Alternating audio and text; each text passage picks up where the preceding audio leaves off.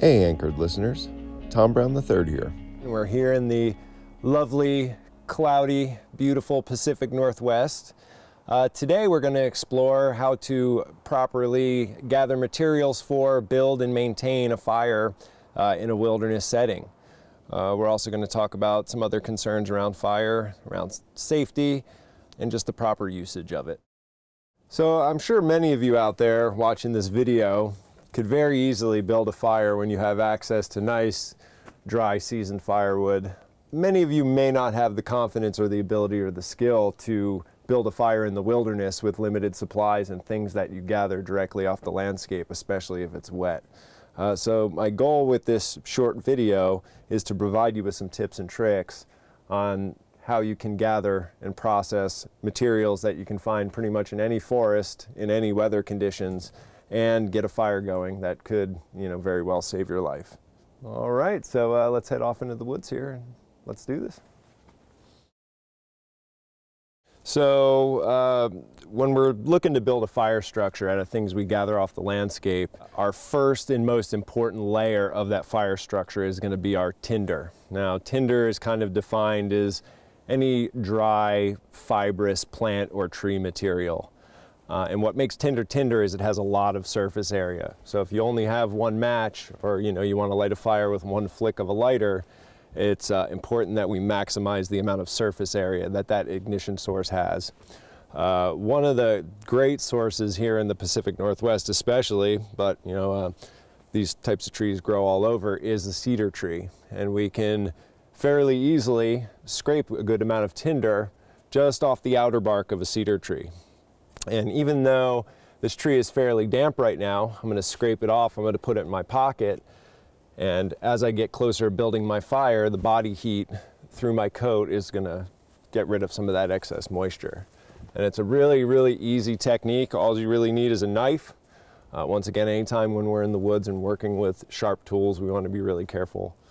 Uh, we don't want to injure ourselves. But what I'm going to do is I'm going to take the blade of my knife and I'm going to hold it perpendicular to the tree bark and my goal isn't to cut in and gouge into the tree bark. All I really want to do is just start to scrape it away. And fairly quickly, you can see how I'm already starting to collect some of this dry fibrous material here.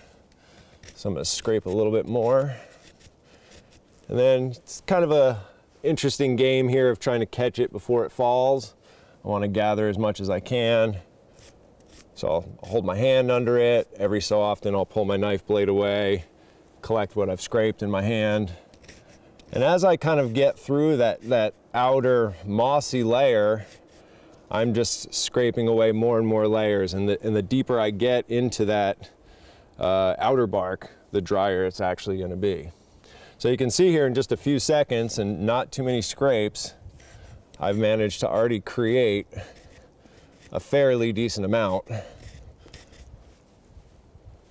So, you know, you do this for uh, a few minutes on any one given tree, you can have yourself a, a, a, fairly large tinder bundle.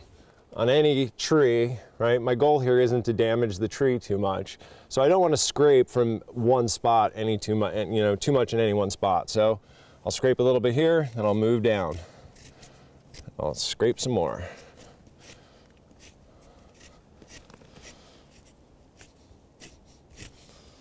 And this cedar outer bark, when this stuff is dry, this is gonna be just as good as any crumpled up piece of newspaper or toilet paper or whatever you might have that you would typically light your fires in the woods with.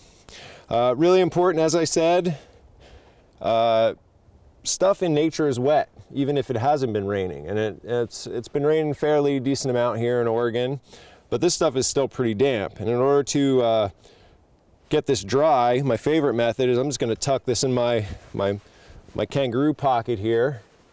And as I walk, my body's gonna generate heat. It's gonna warm that up and dry some of that moisture out. So by the time I get to where I'm actually gonna build my fire and I've collected all my other materials, um, it should be dry enough for me to light it fairly easy with, uh, with, a, with my ignition source.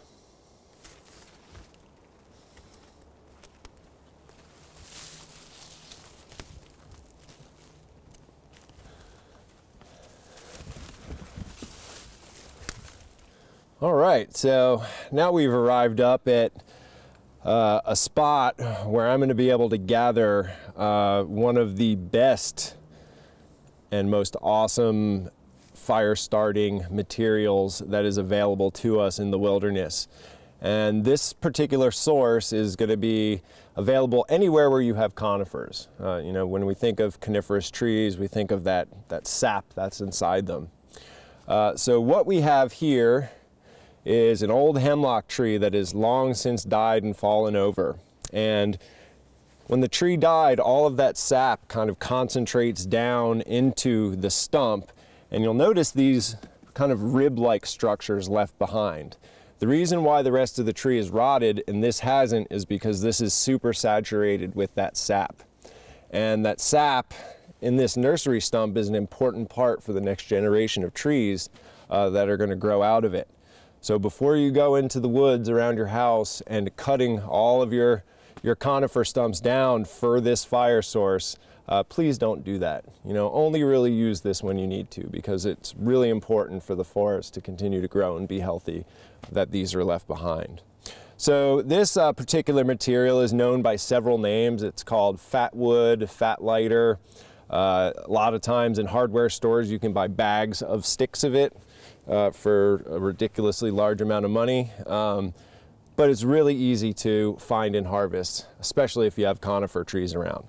So you notice this is really wet, but what I'm gonna do, once again, I'm gonna take my handy knife, the most important tool in any survival situation is a good knife, and I am going to start to carve away the kind of outer layers of this, and you'll eventually see I will get to a layer that looks almost like cured bacon. And you see I've got to it right there.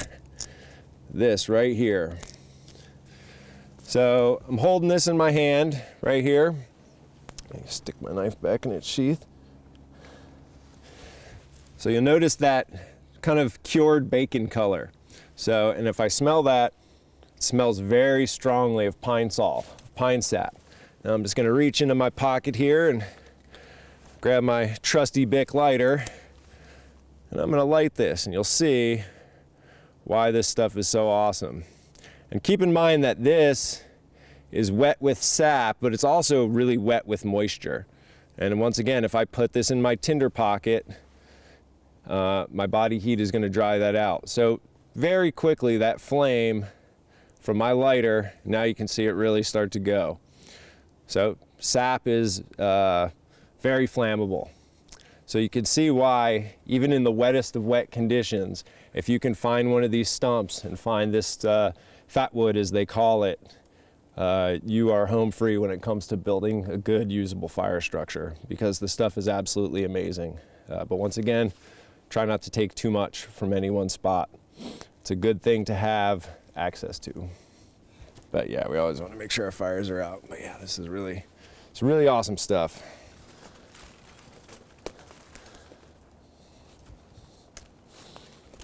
So uh, earlier on when we were talking about uh, scraping the outer bark of cedar trees, I think I also mentioned that uh, certain trees you can also use the inner bark uh, as a good source of tinder. Uh, inner bark is pretty self-explanatory. It lies underneath the outer bark of the tree and then on top of the actual wood of the tree itself. Now this maple here is a really good example of a really awesome tinder source. So you'll notice here on top, the outer bark is all peeled away because this tree's been down for a while. And with my hands, I can peel up this, these layers of inner bark. Now, yes, right now, this is absolutely very wet, but you know, using the heat of my body as I kind of walk around collecting the rest of my materials, uh, this stuff will dry out. And also, if you're uh, blessed with a sunny day and you gather a bunch of wet stuff like this, because it's so fibrous and thin, uh, just a few minutes in some open sunshine will really, really dry it out. Uh, remember, when it comes to tinder, the name of the game is surface area. I want as much uh, dry, fibrous surface area as I can get so that when my ignition source hits it, it's gonna, gonna, gonna make it go right up. And you can see I just pulled a nice piece off right there. Uh, what I would do with this is I would continue, being that I want as much surface area as possible, is to continue to strip this out into smaller and smaller strips. And then once it dries, I might even take it in my hands and kind of fluff it back and forth. That's just really serving to break up those fibers uh, and give me that surface area that I need. so you can see here just in a, a very short amount of time, I gathered a, a, decent handful of inner bark tinder. And while this is wet right now, uh, a little bit later on, it'll be pretty dry and I'd be able to, I'll be able to light this up pretty easily. And especially, you know, even if it is still a little wet and I'm lucky enough to have some of that fat wood, um, that fat wood will dry this out as it's burning and then eventually this will burn. And it'll, it'll make more sense once we get to the actual construction of the fire structure itself. Inner bark is, is very good. A couple ways you can go about getting it. You can find a tree that's fallen down in the forest or you can find a tree that is uh, still what we call standing dead, meaning the tree is no longer alive, but it's uh, still standing upright. And I can use my knife to kind of peel away that outer bark and expose that inner bark. Fire is something that's very special to me. It's almost like a living being. Uh, you know, if you think about it, you know, think about a fire, right? It moves around. It, you need to feed it. It creates waste. It breathes. So to me, it's almost a living being. So I, I, I generally tend to treat it with a lot of reverence and respect and, and thanksgiving because, uh, you know, the difference between having a fire, not having a fire, could very well mean life or death uh, depending on the situation. While it can be a, a, super awesome tool that can help us do a lot of things, cook our food, give us light, purify our water, if we let it get out of control and we don't respect it, it can take over and take our life. so it's always important to be, be respectful and be safe. All right, so so far we've collected tinder and we've collected some fat wood. Uh, and even though fat wood is not a dry fibrous plant material, so to speak, I typically do put it into the tinder category because it's going to be, I'm going to use it in the core of my fire to really heat up the other, the other materials. So the best and easiest way to remember the materials you need to collect are by naming them. And there's a few different ones.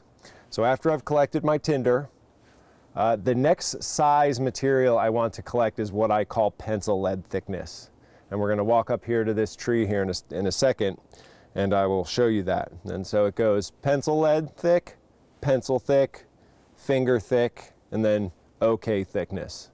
And then once you get to OK, you can just keep expanding how big, however big you want your fire to be.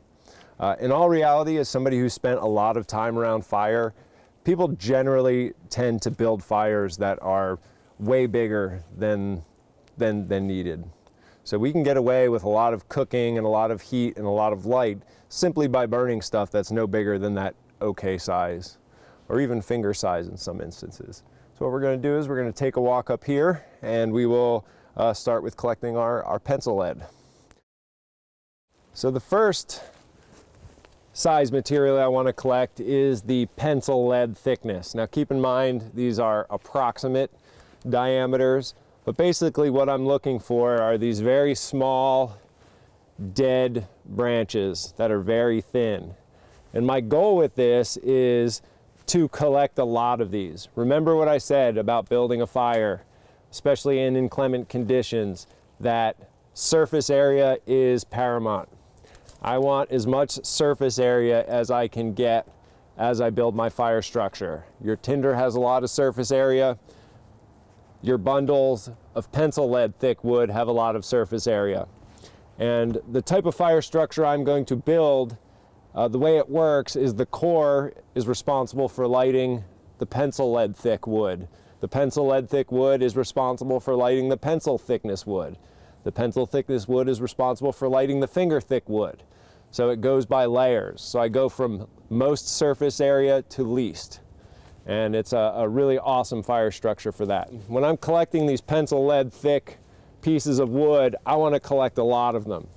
My kind of minimum I want to collect is I want to collect at least four bundles of these that are going to be a good handful because these are going to be the, um, the, the base of the structure of my fire structure. So I'm going to take a while, I'm going to find trees like this that got these low hanging branches with all these dead little twigs hanging off of them. And I'm just gonna kind of go around skirting these trees, collecting as much of these as I possibly can. If my material does not snap, make a crisp snapping sound, and it just bends, if it's just bending, the chances are it's got too much moisture in it for you to work with. So I'm trying to find sticks that are gonna snap right off.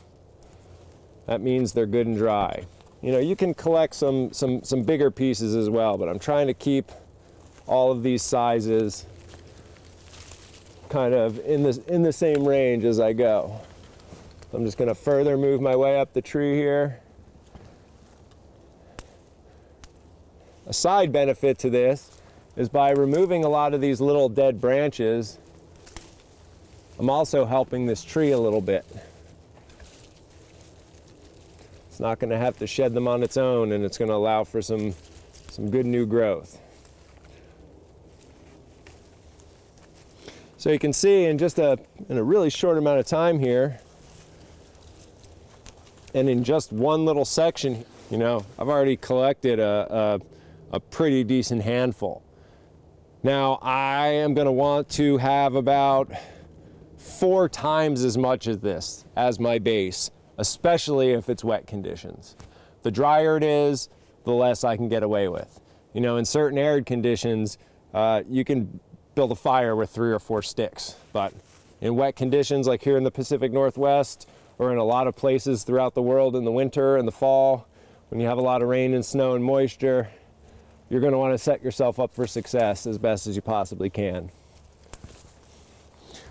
One other really important tip is that I never ever want to gather wood, especially this small stuff that is directly on the ground.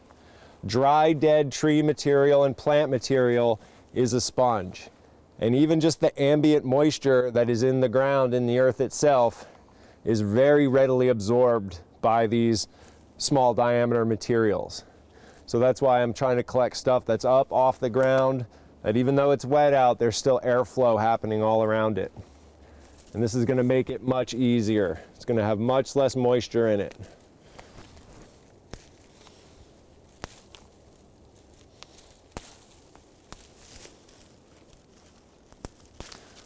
uh, minimum for, especially for wet conditions, would be I want to collect about four times this.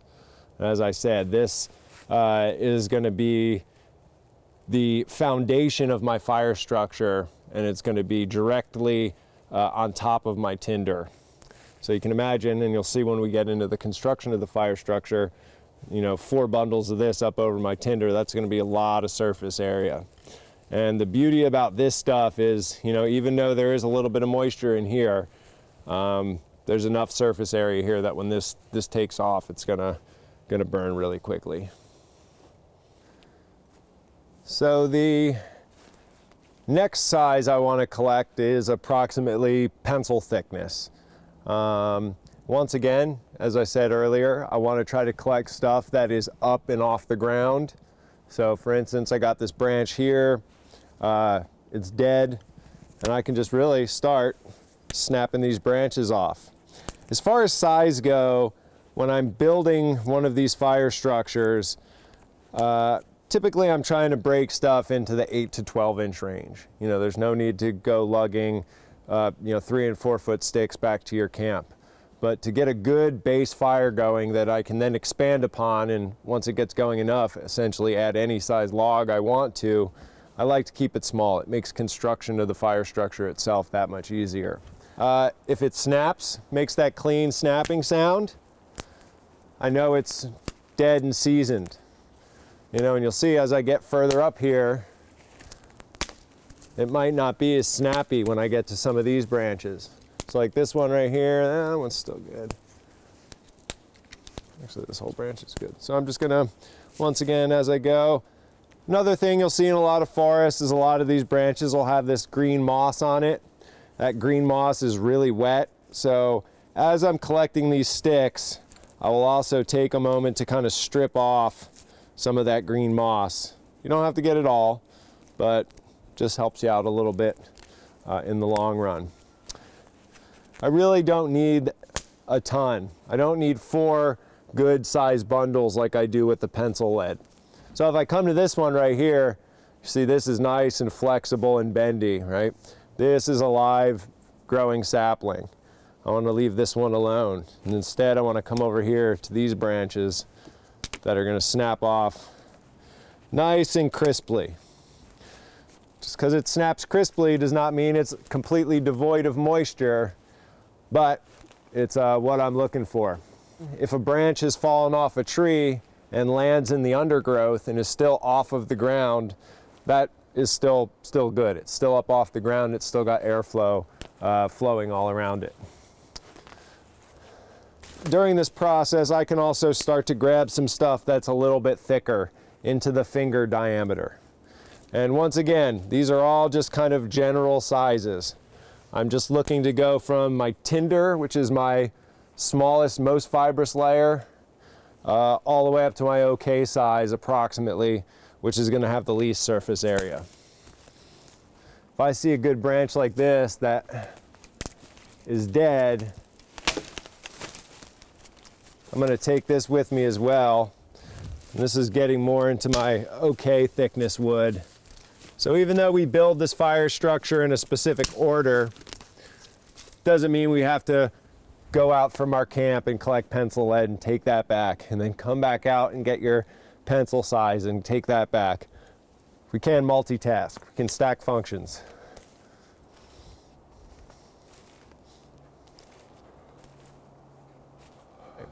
So first and foremost, one of the most important things with building a fire is safety. Uh, you know, I said earlier that fire can be a wonderful tool. It can also cause a lot of destruction. So uh, we want to minimize our risks both to ourselves and to the forest around us. So there's a, a few things we need to consider uh, when, we, when and where we build our fires. The first thing I always like to do is look up. When I, find, when I found my place where I plan on building my fire, I like to look up and make sure there's no dead, low-hanging branches that, you know, if a spark or an ember from my fire ends up in the, that branch could ignite the tree on fire.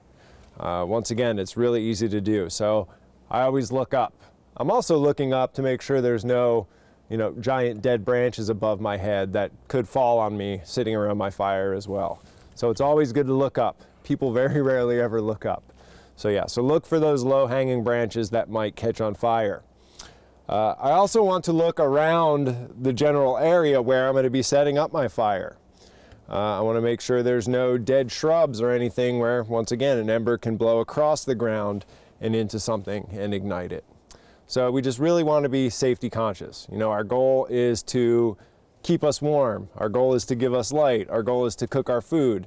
Our goal is not to burn ourselves in the woods down.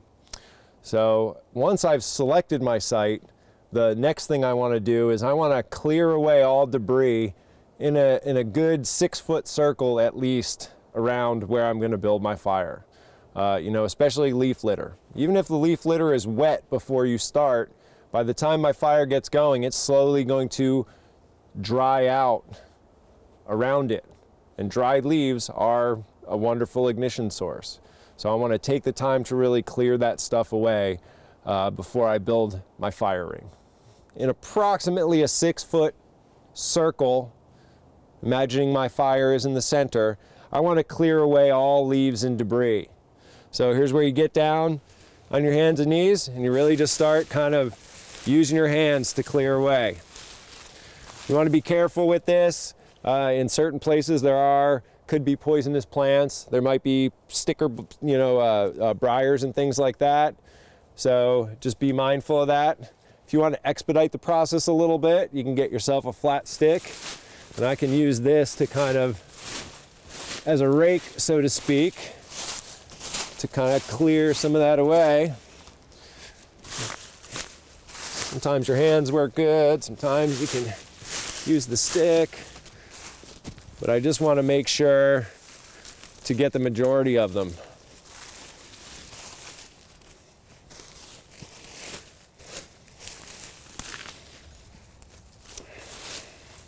Uh, you know, we need to remember that water flows downhill and water always seeks its own level. So just like you wouldn't set up your tent at the bottom of a depression in the ground, you also don't want to build your fire in a depression in the ground. So there's a saying out there when it comes to fire building and shelter building as well, uh, high and dry. So I want my fire structure to be in an area that's a little bit higher than what's around it. Um, so we are in a bit of a downslope here. Water's going to flow downhill, but if I build my fire up on this little raised section here, uh, I should be good. So yeah, avoid building your fire in a super low-lying spot. So I clear a bit more away. How much space you clear depends on the size of the fire you're going to be building. You know, as I said earlier, people tend to think they need a lot more fire than they actually do. So the fire I'm going to be building uh, is going to be relatively small. So if I was planning on building a giant cooking fire, I would clear out a lot more of this, these leaves and debris. But for this small fire, just need about this six foot or so radius. So what I'm going to do now is I want to further uh, contain my fire. So I'm going to take my handy digging stick here that I gathered from just over there, and I'm going to dig a small depression in the ground. Once again, this is just going to be further to contain my fire. Another use of this, uh, in certain places, you can cause what's known as a root fire, where basically that same sap that is in the fat wood that I'm going to use as part of lighting this fire is concentrated in the roots. And your fire on the ground can actually get that sap superheated and cause it to burn underground. So in this area, I'm not too concerned about it, but in a, in a very heavy conifer forest, I might be. So I would also use this time where I'm digging this depression to seek out any roots and sever them and remove them so I don't cause a root fire. And I'm not trying to fling this dirt off into the wilderness because when I'm done with this area, when I'm done with this fire, it is my job uh, as a human and a caretaker to return this area back to the way it was before I came. And by saving and maintaining this dirt, once my fire is extinguished, I can put the dirt back, I can rake the debris I raked away back, and I can try to return the area to the way it was before I came. If everybody did that every time they went into the woods, the world would be a much better place. Gonna dig a little bit more, not trying to fling that dirt. So now what I'm gonna do is I'm gonna add one more layer of safety to this, one more layer of protection, and I am going to build a rock ring. Once again, the rock ring, uh, primary purpose is going to be to contain the fire. However, rock rings have a secondary purpose. They store that heat energy. And once these rocks get a certain amount of thermal mass, if that fire goes out, these rocks can still continue to radiate heat. So if I'm ever, ever forced to sleep around an open fire and in the middle of the night, or if I purposely put my fire out before going to bed, these rocks are still going to radiate heat and can keep me warm. And I am just going to kind of go around and create a barrier that the fire should not be able to escape. You can, on the opposite side of the fire you plan on sitting from, you can actually build a taller rock wall that will act as a fire reflector, right? So the light from that will be reflected back towards you off of that rock wall. So it's another good little technique to maximize your warmth and your light off of your little tiny fire. Try to fill in all the holes. I can use the excess dirt that I have to fill in some of those gaps as well. And with a little bit of work, I have made this that much safer for the fire I'm going to build. Um, as you can see, we've cleared out a good diameter around, dug a little bit of a depression, and we got our fire ring. You know, once again, it's always best to be safe. Uh, here, ever so nicely, I have uh, got things laid out in the kind of sizes we're going to go for. Uh, now this structure, it's got many names. We can call it the tent structure, we can call it the triangle structure, uh, but basically uh, it is going to be kind of pyramid shaped. And the reason for that is it is going to shed water and you'll see as I build this. Uh, and I'm going to build it from the ground up. So our first layer is going to be our tinder. And I remember our tinder is our super dry, fluffy, fibrous material that has a lot of surface area. After we put our tinder down, we're then going to move on to our kind of pencil lead size and then go up as we go. And eventually it's going to resemble, you know, a triangle or a pyramid. The really awesome thing about this fire structure is if it's built well, it sheds water. And the water will shed off the outer sticks and the inside will still be dry. I've actually built these structures and purposely left them out in the rain uh, and had the next day the core tinder bundle still be dry. In some places, if I had access to a nice dry piece of bark, I might put a dry piece of bark down on the ground here first to keep my tinder from absorbing moisture. But seeing how everything around here is pretty wet uh, and the soil that I dug down into is actually fairly dry, I'm gonna go ahead and just place my, my tinder bundle uh, directly on the ground. But if you have access to a piece of dry bark, uh, it might be good sense to do that. This is from a cedar tree, and once again, really good tinder source. I can just take and I can shred this up into little bits and give myself that surface area. And I've already got some that's more fully prepared over here, but I just wanted to point that out really quick and remind everybody that inner bark is another great source for tinder as well. So we're ready to get started here and I'm going to start by placing that tinder bundle that I collected earlier right in the center there. And I've also got, once again, being that I have access to the resource in this area, I've got some of this little shavings of fat wood that I'm also going to kind of incorporate into this. This stuff is a blessing if you have access to it. But remember, as I said earlier, don't, don't overuse it. So what I like to do is I like to separate out my pencil lead thick sticks into okay size bundles. This makes building this structure that much easier. So what I'm going to do is I'm to get right in my fire structure and I'm going to try to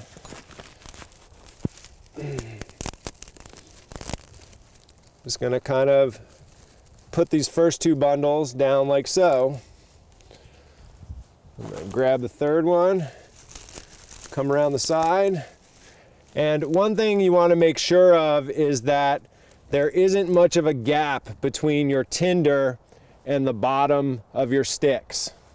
So I want to make sure that my tinder, and I'll actually fluff it up and push it up into, into the sticks a little bit. I want to make sure my tinder is touching my pencil lead thick uh, material. Because if I light that and the tinder burns away before it catches, uh, then most likely my fire is not going to get going.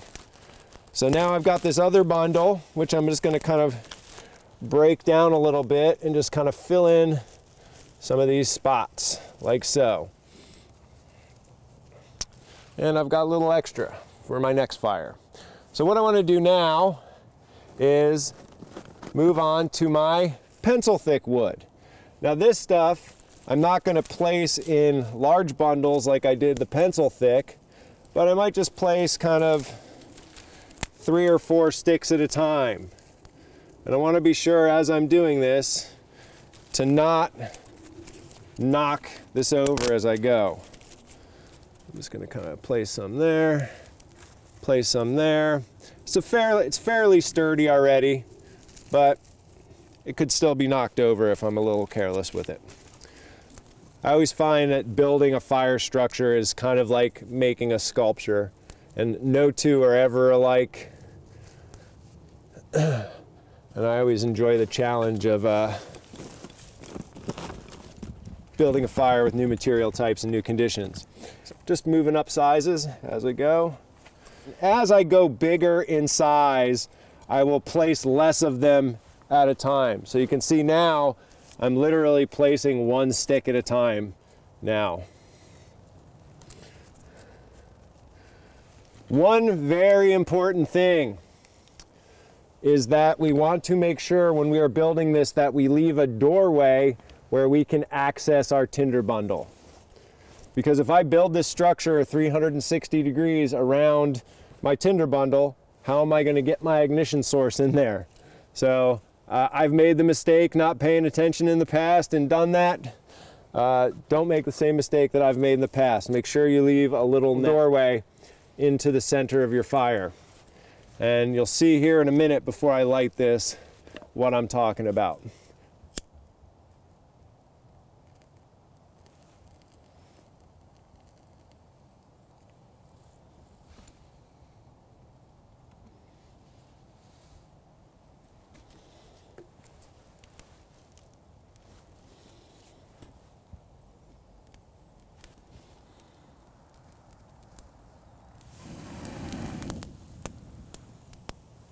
You can just kind of keep adding wood as you need. You could get all the way up to burning 16 inch diameter trees if you needed to. But yeah, one of the one of the great things about a little fire like this is uh, it's really easy to maintain. Um, typically, it's going to be pretty smoke free um, because this wood is a little damp. It's going to give off a little bit of smoke. People think they need this giant roaring fire to survive, and it's just not the case. You can really really get it, really do it with a small one. Uh, we've built our fire and lit our fire, and we've accomplished uh, whatever task we needed the fire for, whether it's to warm us up or purify some water or, or cook a piece of meat. And we are ready to break camp and move on. And as I said, you know, as, as caretakers of the planet, it's our job to try and leave areas better um, than when we found them. Uh, and from the danger standpoint, before I leave a fire, I want to make sure that it's out. You know, I do not want to set the woods on fire. That is not my goal.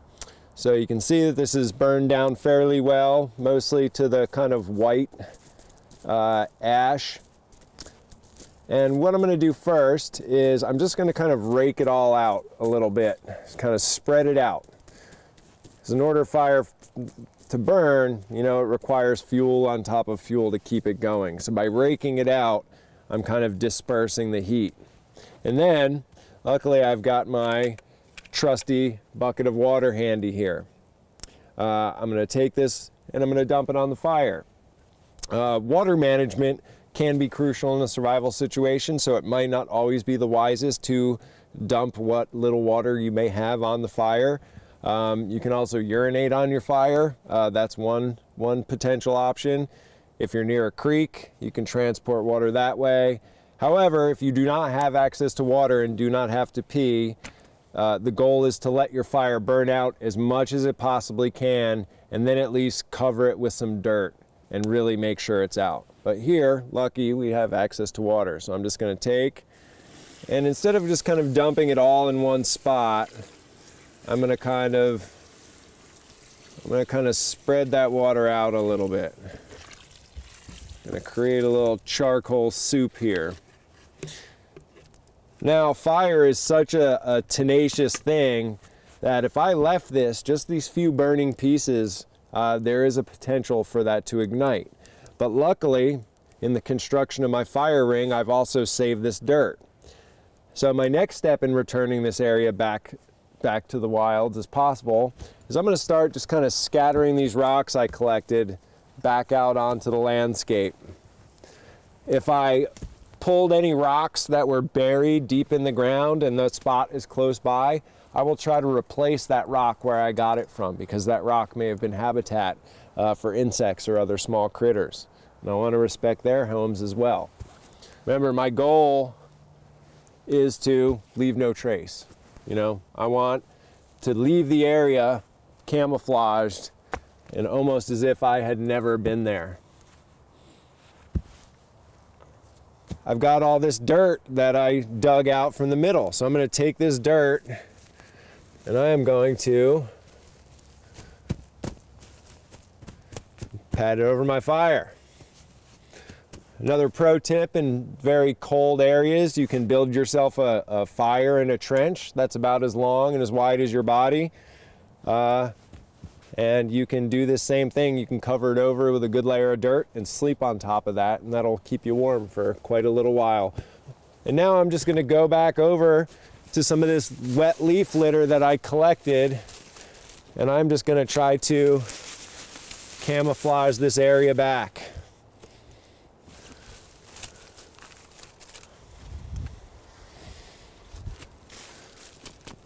All right, you can see with just a little bit of work and a little bit of water, uh, in just a very short amount of time, I was able to pretty much disappear this whole fire.